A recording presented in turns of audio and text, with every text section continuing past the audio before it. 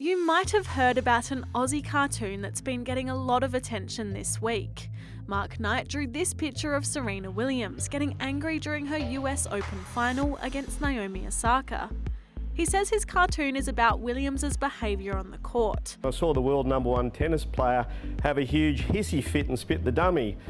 So basically, that's what the cartoon was about. But the picture made a lot of people around the world really angry. They said the way he drew Williams is racist and is a similar style to offensive cartoons from a long time ago.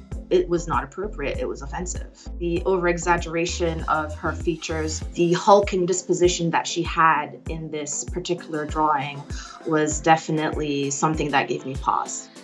While a lot of people have asked the Herald Sun newspaper to apologise, the editor says the cartoon isn't racist or sexist, and the paper supports the artist.